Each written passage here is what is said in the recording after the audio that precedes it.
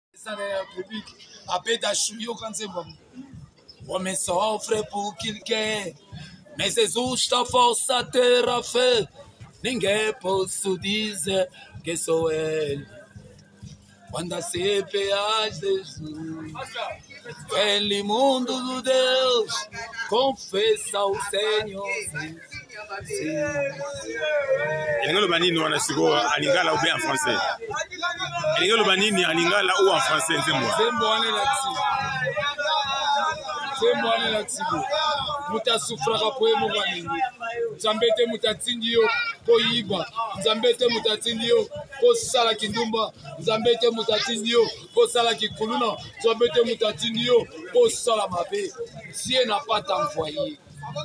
moto azosufri ka ye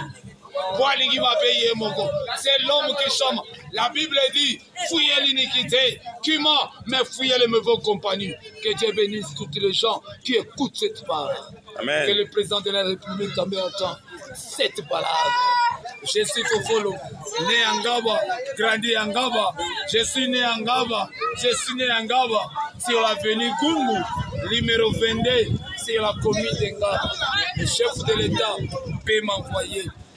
quelque situ te kel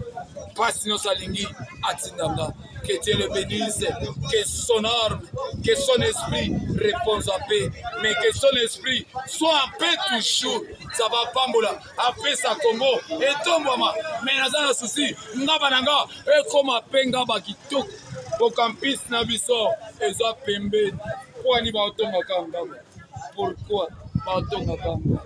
kaba mpe kende liboso que dieu bénisse le patron de ce téléphone nzambe apambola papa oyo apesa mbongo ebele akomise place aza nango mposa que dieu te bénisse nayokana betelo lisolo les seules prières oyo yesu atikaki c'est notre père qui est au ciel que ton nom soit sanctifié yango wana prière kosambela kosambelaka bisambela sambela te ofraka fraka friki friki te yesu alobaki parle ya langue te yesu aparlaka langue te jésus a dit la lumière il a dit la femme pute